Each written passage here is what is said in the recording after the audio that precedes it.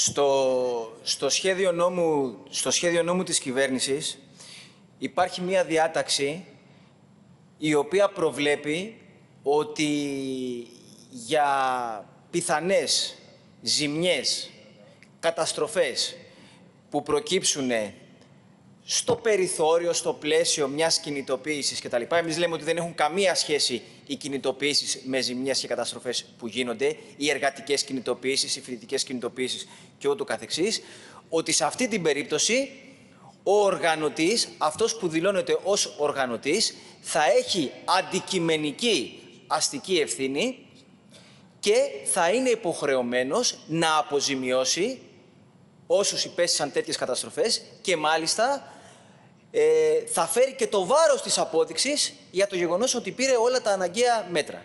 Εμείς θεωρούμε αυτή τη διάταξη απαράδεκτη. Η κυβέρνηση, προκειμένου να την νομιμοποιήσει, ο υπουργός εχθές έκανε το εξής ερώτημα.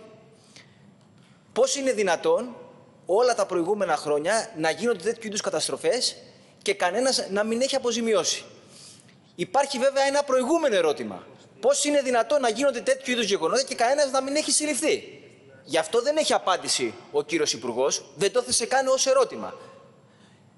Εμείς αυτό που θέλουμε να ρωτήσουμε είναι το εξής. Ποια είναι η γνώμη των εκπροσώπων των φορέων για αυτή τη διάταξη που υπάρχει στο σχέδιο νόμου, σύμφωνα με την οποία ο οργανωτής, αυτός που δηλώνεται ως οργανωτής, ως υπεύθυνος της εκάστοτε κινητοποίησης, θα φέρει το βάρος της ευθύνης και μάλιστα με πολύ περιορισμένους όρους όσον αφορά την ανταπόδειξη, ε, θα φέρει το βάρος της ευθύνης και θα φέρει την ευθύνη για να αποζημιώσει όσους υπέστησαν καταστροφές, επαναλαμβάνω από στοιχεία τα οποία δεν έχουν κανένα, καμία σχέση με τις συγκεντρώσεις και τις κινητοποίησεις.